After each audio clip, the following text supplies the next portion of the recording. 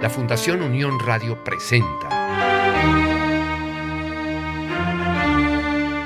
Divagancias con Pedro León Zapata y Miguel Delgado Esteves.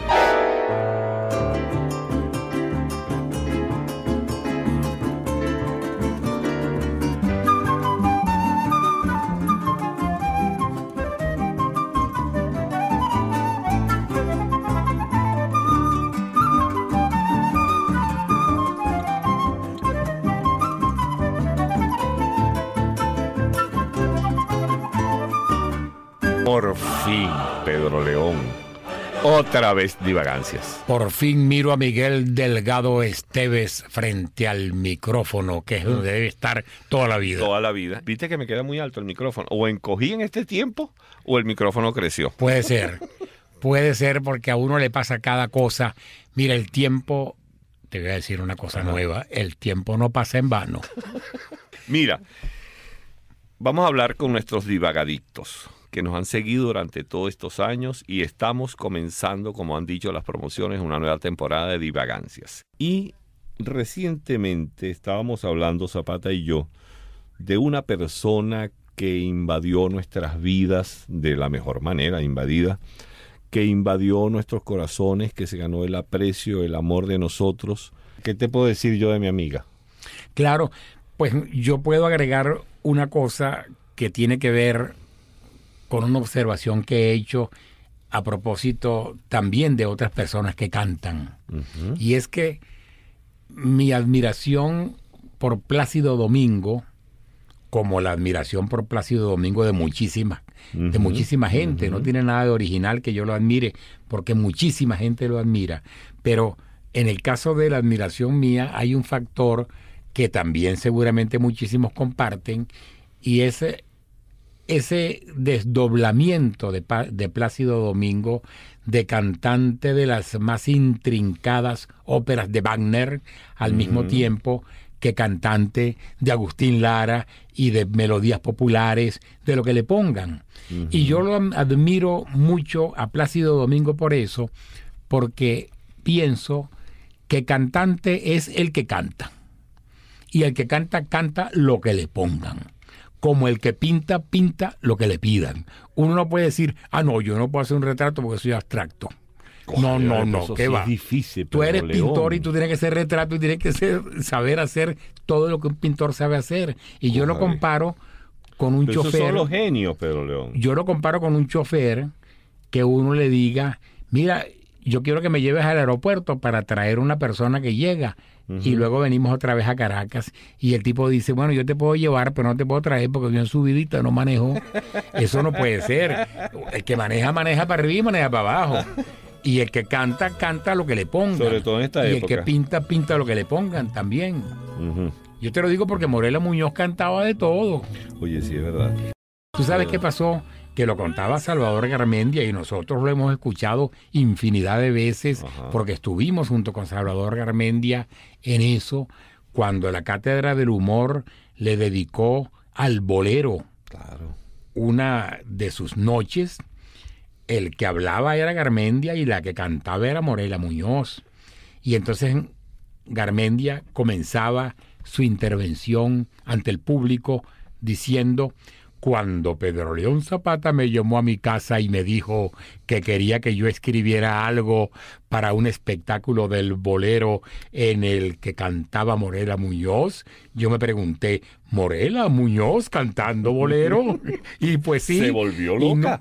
Y no, solamente cantaba bolero, sino cómo cantaba ¿Cómo los boleros. bolero? Tú sabes que un día, Morela, esa amistad extraordinaria que nos unió, que nos sigue uniendo, ¿por qué no? Pues, este, yo un día le dije, Morela, si tú hubieses dedicado tu estilo, perdón, si tú hubieses cambiado tu estilo, hubieses tomado el estilo de cantar boleros, fueras la reina del bolero en Latinoamérica.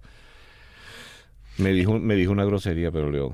Ella se Dijo llamaba... que yo estaba loco. ¿Qué, riñones tenía yo? No, mira, no, equivocada. ¿Cómo, cómo de- se llamaba ella en la En cátedra la del humor? era en la, en la historia del bolero. En- Azucena, Azucena del, Mar. del Mar. Ese nombre se lo pusiste tú, Pedro León. Azucena, bueno, para que se me ha olvidado. Ah. Azucena del Mar. Sí, vale. Y salía con una boquilla larguísima. totalmente eh, maquillada, con peluca. Una peluca con un amarilla traje horrible. increíble. Un traje verde. Con- burlándose naturalmente Claro. de ese tipo de cantantes, burlándose del bolero mismo, pero con la voz de ella no había burla que No, valiera, va. porque en lo que ella cantaba el bolero la gente inmediatamente entraba en trance. Como si le hubieran echado un insecticida un poco a La- moscas. entraba en trance y al terminar ella cada uno de esos boleros, Claro. la gente aplaudía. Es que tú te acuerdas en las, reuniones, enloquecidamente. en las reuniones que hacíamos, Pedro León, nosotros, bueno, ella cantaba boleros y yo la acompañaba con la guitarra. Claro, sí. Aquiles Báez también la acompañó en reuniones de amigos, este, y creo que también hizo alguna que otra cosa con ella en la, en, en teatro, con, con, con, ¿cómo se llama? Con, acompañándola, pues. Alirio Díaz también. la- Alirio Díaz también, hizo, claro, Alirio. Y Alirio Díaz seguramente que también lo hubiera acompañado si no la acompañó en boleros, porque Alirio Díaz originalmente era músico popular. Pero Alirio no le metía mucho al bolero, ¿sabes? Ah, no. Sí, te lo digo porque hemos tocado juntos y entonces cuando yo toco bolero, tú sabes que la cosa se pone buena. Con cuando Rodrigo Riera sí, porque Rodrigo Riera era, era mucho más... La palabra puede sonar fea, pero es, es eso como se definió alguna vez la guitarra, me lo dijo el maestro Antonio Lauro, la guitarra es arrabalera. La guitarra es así de calle, la guitarra tiene un- una Pero personalidad. yo defiendo a Alirio en eso, porque Alirio. Díaz tuvo un origen en un grupo, yo lo he leído por ahí, yo no lo vi, en un grupo que tocaba música popular en la radio. Mm, Sí, él tocó en la radio, pero él- acuérdate que él llegó a tocar saxofón, Pedro León, y que tocaba horrible. Así, ay, La no gente era. dice que Alivio tocaba, Y no era menos mal que se dedicó a la guitarra, porque tocaba saxofón, que era un sonido realmente espantoso. Y hay una fotografía en Pero a lo mejor como tocador de saxofón hubiera llegado a presidente de los Estados Unidos, mientras que ningún tocador de guitarra ha llegado a presidente de Estados Unidos. De en Chile sí. La actual, la actual presidente recién electa, ¿Ah, sí? Claro, tocadora de guitarra. No. Ah, tú no sabías eso, claro. Ella consiguió eso, Que además es que Entre consiguió la presidencia porque tocaba entre guitarra. otras razones, por la guitarra. Porque una persona Yo que toca guitarra tiene una, una buena porción de la opinión ajena ya ganada. Entonces yo voy a ver si voy a empezar a practicar más. Mira, pero Moreno, además de boleros, cantaba también jazz, Claro. cantaba espirituales. Sí, señor. Increíblemente bien. Fue considerada la mejor intérprete de Brahms. Schubert con el lead. que es mucho más espiritual que, los espirituales. Uh, cómo no. Los estudiosos del lead dicen que el lead es poesía para cantar, no para ser recitada, porque hay poesías que son para ser dichas o recitadas, y hay otras poesías que son exclusivamente para ser cantadas. Los maestros del lead dicen que eso es el lead, poesía para ser cantada, y Morela llegó a ser la tapa del frasco del lead en la época en la cual ella se gana los premios que se ganó en Europa, en Praga, en Viena. con una pronunciación impecable. No hace Sí, falta que uno conozca el idioma, porque a Morela se le entendía en idiomas que uno desconocía por su Yo le buena entendía el pronunciación. alemán perfecto. Todo lo que decía. perfecto se le entendía. Claro el sí. alemán era una cosa perfecta. Claro. No era una cosa. No, ella nada no de- decía no, no, Beethoven, no. ella decía Beethoven. Sí, pronunciaba muy bien. Fíjate tú que mm, la historia de cual no es fácil. No, y una cantante de ese de esa índole, de ese corte, con el esfuerzo enorme que tienen que hacer para cantar esas notas de aquellos grandes compositores que además pronuncien bien. Claro. Eso es muy Tú difícil. sabes que Morela comienza su carrera siendo una muchachita y le pusieron el nombre en la radio de Morela Kenton y se le atribuye a... ¿Tú te acuerdas de Marco, Tul- Marco Tulio Maristani? Sí, claro. Claro, él era de los cantores del trópico. Y me acuerdo de Pérez Prado y el Mambo a la Kenton. claro. ¿En serio? Claro. Pero eso no puede ser dedicado a Morela, ese. No, Ella no. bailaba muy bien, ¿sabes? No, porque hay un célebre compositor norteamericano de apellido Kenton. Ah, claro, Por eso es claro, el apellido claro, que le ¿cómo es que pusieron a ella y por eso ese que Pérez Prado hizo el mambo a la Kenton. Y cuando uno escucha música de Kenton, No es a la parece de. Pérez Prado.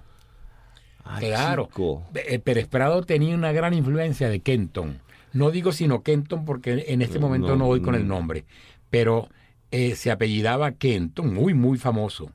Muy Sí, famoso. También me suena, ¿verdad? Y él pone mambo a la Kenton. Pero es a la Kenton, o sea, al estilo Kenton, no es a la Kenton, no porque Kenton era una mujer. Ah, no, claro, sí. eh, Al claro. estilo Kenton. Por eso tú entendías que era, que era a la Kenton Morela Muñoz. Sí. No, mambo a la manera de Kenton. Ajá. Claro, ahí se llama mambo a la Kenton. Pues resulta que Marco Tulio Maristani, quien cantaba en Los Cantores del Trópico, conjuntamente ese grupo era formado por el maestro Antonio Lauro y por el maestro Pérez Díaz, este profesor de guitarra de la Escuela Superior de Música de Santa Capilla. Luego estuvo un poquito tiempo con ellos el maestro Eduardo Serrano, con los Cantores del Trópico, pero muy poco tiempo. Pero el cuento es que el maestro Marco Tulio Maristani le propone que se cambie ese nombre de Morela Muñoz por el de Morela Kenton, hasta que ella se va a estudiar a la Escuela Superior de Música y estudia con una profesora italiana que se vino para acá después de la guerra. Gunila. No, No. Gunila, no. Esa Pero- es, no, esa es este Lidia Buturini de Panaro. Ah, la maestra La Buturini. es profesora de- de Panaro, la profesora sí, sí, Panaro, ella fue profesora de canto de nosotros en el Orfeo. Universitario. Que la acompañó Y era al piano infinidad de veces. Adora- no, esa era Nina No, Ivanek. Nina Ivanek era quien le acompañaba a ella al Ay, piano. yo estoy todo despistado. Estás todo despistado, porque la profesora Panaro no tocaba bien el piano, ella daba sus clases de, de- de vocalización, de impostación de voz en la Escuela Superior de Música, pero también hacía sus, mataba sus tigritos, mataba tigritos. Imagínate tú. Que el lenguaje musical es muy... te llega al alma. Morena no le gustaba que le dijeran, "Ma- vamos a matar un tigre. Se ponía brava. Pero continuamos en esta parte que viene sobre nuestra querida Morela Muñoz y todo lo que ella nos regaló. Está en sintonía de Divagancias, un programa de la Fundación Unión Radio.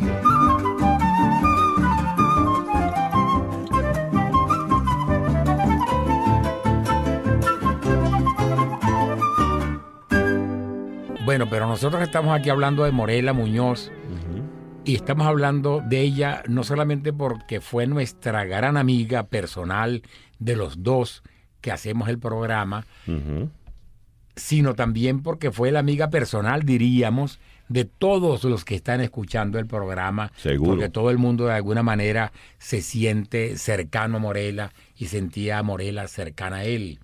Pero también estamos haciéndolo porque tenemos aquí un disco, un doble disco, Un doble disco, sí. un doble disco Este CD. disco nos lo regaló. Gunila. Gunila, porque Gunila es la hija de Morela y se llama Gunila por la maestra que yo me equivoqué diciendo que había sido la primera maestra Ajá. de Morela aquí en Venezuela que tuvo Morela en Europa. Ajá. En alguna oportunidad la invitó a que viniera su maestra Gunila de Europa aquí Sí, a Venezuela. porque Morela viaja la primera vez a Europa en el año 1958. Morela cantaba, Pedro León, en el liceo, estudiaba en el Liceo Andrés Bello. Y el coro del Liceo Andrés Bello lo dirigía Lorenzo Fígalo, el doctor Lorenzo Fígalo, uno de los, bueno, ya él falleció, pero uno de los maestros de la geriatría aquí en Venezuela. Y Lorenzo Fígalo nos contó en una ocasión que el profesor Dionisio López Orihuela, quien fue director del Liceo Andrés Bello y un gran maestro venezolano, le dijo, chico, esa muchacha como que hay que ponerle a estudiar música. Y es cuando hablan con Antonio Esteves para que ella vaya al Orfeo Universitario. Y es cuando ella se pone a estudiar música. Y en el año 58 se va a Europa a estudiar, después de haber sido Morela Kenton y toda aquella cosa, aquella niñita prodigio que cantaba en la radio. Entonces ocurrieron todas estas historias, el Liceo Andrés Bello, el doctor Lorenzo Fígalo, eh, Antonio Esteves, Orfeo Universitario, y ella se va en el año 58 y estudia en Europa y arrasa con todos los premios que te quieras imaginar. Sí, es verdad. Y tú, con toda seguridad lo sabes, pero ¿por Mm. qué no se lo dices a tus oyentes y a mí también? ¿Cómo se llama la pieza que cantó Morela al principio de esta parte del programa y quién es el autor? Claro, ese es, esa es una parte de una ópera extraordinaria compuesta por George Gershwin. ¿Cómo se pronunciará, chico? Tú que hablas también inglés, dímelo. George Gers- Gershwin. Yo, yo no hablo en inglés por los micrófonos venezolanos Porque está porque lo prohíbe la ley. Sí, es- Porgy and Bess es la ópera que compone George. y entonces. Jorge. este, sí, Jorge, Jorgito Gerwin. Este, y ahí está el Summertime, que esa obra es famosa.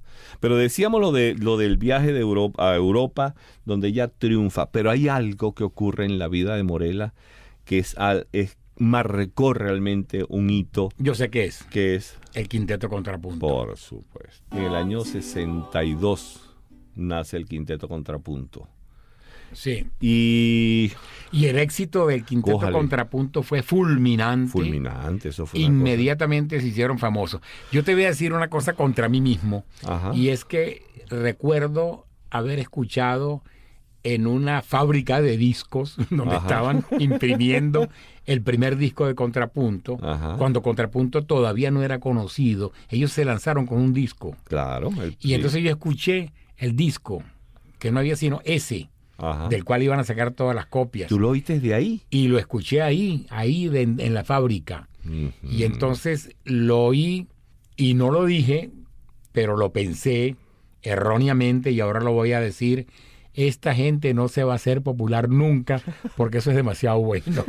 es decir, porque aunque están interpretando música popular venezolana, la están haciendo con un refinamiento, con una exquisitez, con un contrapunto, Claro. precisamente que, según mi criterio, no se llevaba con el gusto Popular, del, digamos, popular de la del época. común de las Estamos personas. hablando de los años 60, ¿no? Pero resultó que como de costumbre me equivoqué.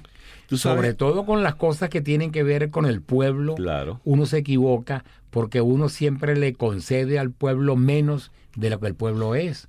La gente entiende mucho más de lo que parece de pintura, de dibujo, Sí. de humor y de música. Tú sabes que en, en ese primer disco del Quinteto Contrapunto, yo recuerdo que estábamos, este, ya ellos habían grabado y estábamos en casa de un tío mío, Rafael Esteves, y llegó Domingo Mendoza con Rafael Fucho Suárez, con Jesús Sevillano, que eran los tres varones del Quinteto Contrapunto, y con Aida Navarro y con Gloris López, que eran compañeras, habían sido compañeras nuestras del Orfeo Universitario. Y llegan con aquello y aquel, y fue una sorpresa. Yo recuerdo que ya ellos habían terminado de grabar, pero Morela grabó los primeros temas que se grabaron en ese disco. Luego ella se tuvo que ir a Europa. Y como tenían que terminar el disco, buscaron un sustituto de Morela que fue Gloris López. Entonces, ellos en esa ocasión que te dije fueron donde este tío mío, y aquello fue una cosa que quedamos absolutamente tiesos todo el mundo. Es más, yo estaba tocando guitarra ya y yo de asomado pretendí incorporarme en aquello que era una fiesta a tocar la guitarra. Y entonces Fucho Suárez me dijo, no, Miguel Efren, quédate quieto. Yo dije, perro, me quedé quieto. Y después yo no entendía aquella cosa más, no es que no entendía, es que estábamos absolutamente cautivados con toda aquella magia. Para que tengan una, una, una idea, mis queridos divagadictos, en el aula magna, cuando se presentó el quiteto contrapunto, rompieron las puertas del aula magna para meterse la gente, porque aquello era como que si estaba presentándose Elvis Presley, pues. Los Beatles, pues. y yo estuve, no juegue. Aún no queriendo, tenía que estar muy cerca del quinteto contrapunto, no tanto porque yo fuera amigo de ellos o amigo de Morela, sino porque yo era amigo de Armando Córdoba Ah, Armando era el administrador. y de Ligia Olivieri. Claro. Entonces Ligia es la autora, Ah, claro. Ligia es la autora de las carátulas de los del quinteto. de los discos del quinteto contrapunto. que eran vitrales. Y Armando tenía mucho que ver con la... Porque Armando, independientemente de su condición de economista, también ha sido miembro del Orfeón. Él fue miembro del Orfeo Universitario y amigo de ellos, de todos y ellos, amigo ¿sabes? íntimo, amigo Claro. de todos ellos, de Domingo Mendoza, De todos, de Morela de y de todos, y Sevillano. Y entonces, naturalmente, Armando estaba muy vinculado a ellos por muy diversas razones, que no eran nada más la razón económica. Por lo tanto, ser amigo de ellos era ser amigo del quinteto, porque ellos formaban parte prácticamente del quinteto. Yo estaba allí en el aula magna en esa oportunidad que tú te Fíjate tú, refieres, y yo recuerdo- todo eso que tú Claro, y en ese primer disco del Quinteto Contrapunto, Morela graba una fulía que se llama La Fulía se fue volando y la grabó a capela. Y esta historia es muy hermosa porque es una ¿qué es una fulía? Una fulía es una forma musical, no vamos a entrar en los detalles, pero en el caso de las fulías de las zonas negras de, Bar- de Barlovento de acá, se acompañan con tambores, con unos tamborcitos, se acompaña con cuatro y con un plato de peltres que, que hace como de charrasca. Ajá. Y ese olelo, olelo, olelo, olelo es típico de las fulías. Sin embargo, Morela graba La fulía se fue volando a capela porque resulta que así se había grabado en el estudio de el doctor Juan Liscano, quien tenía grabaciones muy viejas de mm, de, de una señora que le llevaron allí a su casa para que le cantara y la señora le cantó eso que se llama Se fue volando y se quedó a capela y así lo grabó Morela con el quinteto contrapunto. Está en sintonía de Divagancias, un programa de la Fundación Unión Radio.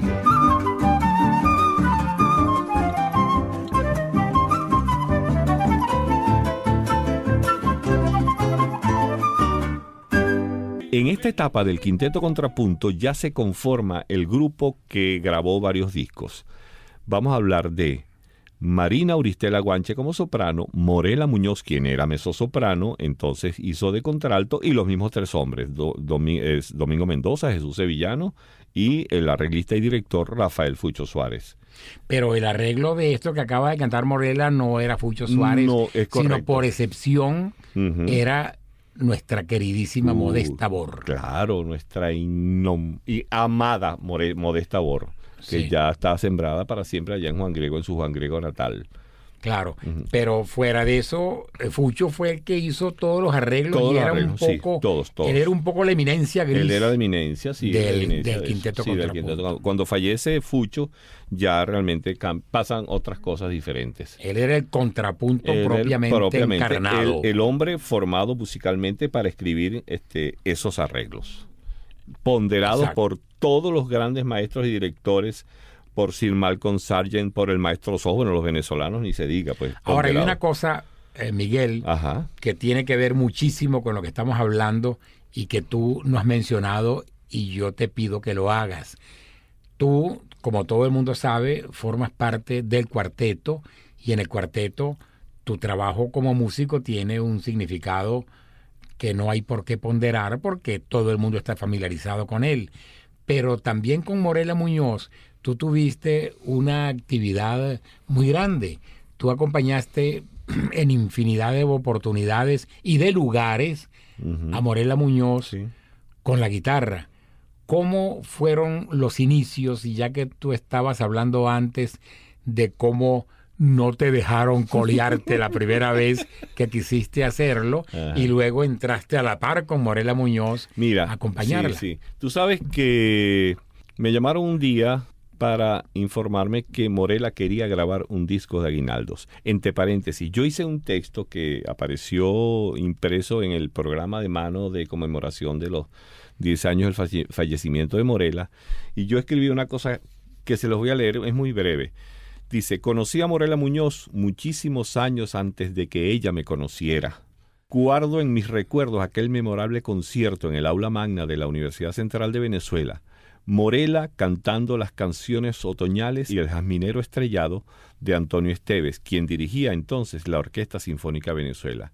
Ella tenía un traje blanco y yo, un muchacho, uno más del público, cautiva- cautivado por toda aquella magia. El- estas obras, las, las canciones otoñales y el jaminero estrellado, no estoy seguro, pero una de las dos sé que Antonio Esteves se las dedicó a Morela para que ella las cantara. Y voy a intercalar una cosa aquí. Ajá. No te estoy interrumpiendo, tú vas a No, seguir no, después. nadie se ha dado cuenta que me No, no, de ninguna Pues manera. nadie, Y además con la particularidad de que lo que voy a decir no tiene nada que ver con lo que tú estás diciendo. Y es que Ildemaro Torres Ajá.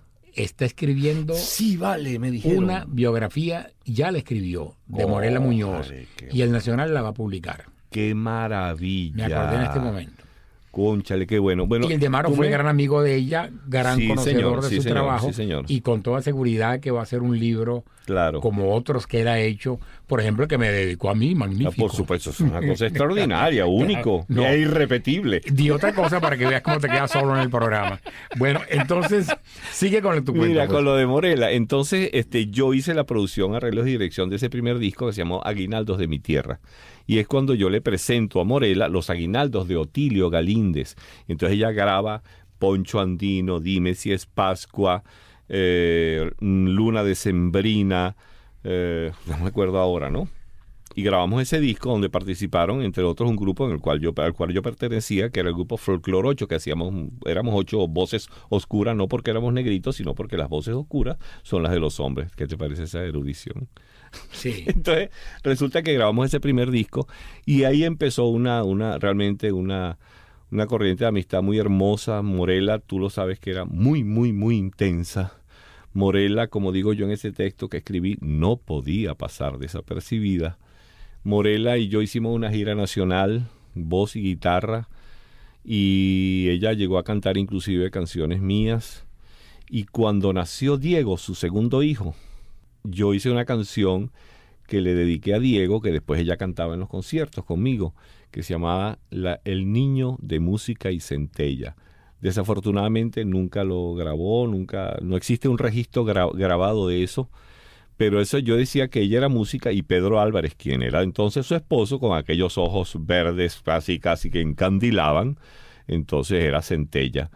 Y entonces este, yo hice esa canción que se llama El Niño de Música y Mira, y cuando Centella. cantaban en la Plaza Bolívar también era muy bueno. Ah, que eso era demasiado bueno cuando hacíamos los pregones en la Navidad, Los ¿te acuerdas? con- Tú eras con el Rafael jefe. Salazar. Exacto, tú eres el maestro de ceremonias sempiterno. Sí. Entonces Morela cantaba los solos y ella cantó ahí un aguinaldo que la letra, por cierto, Pedro León, es de Otilio Galíndez y la música es mía. Eso ocurrió en el segundo año del pregón de la Navidad en Caracas, que fue en la Plaza Bolívar. Pero yo recuerdo aquellas historias de Morela, Pedro León, cuando estábamos en un concierto y de repente había un niñito llorando. Ese niño no tiene madre. No, No, no decía madre, decía, Yo- ¿dónde está la mamá de ese niñito? Yo voy a contar Yo, ay, otro. cójale, Mira, oye, Morela, pero oye, me- yo le dije, Morela, pero quédate quieta. esto ocurrió en la ciudad de Tobar, Ajá, Edo Mérida. en la Casa de la Cultura o algo por el estilo de Tobar, y Morela cantaba. Era un recital de Morela. Yo estaba en el público y entonces Morela cantó una de esas canciones muy populares, muy conocidas de la gente, cuya sola enunciación entusiasma y prende el fervor del populacho. Y entonces fue interrumpida en más de una oportunidad en la canción por el entusiasmo de la gente que la aplaudía. Ella terminó la canción y dijo, he observado que ustedes, herencia de la mala educación aprendida en la televisión, han interrumpido la canción con aplausos. Eso no se hace.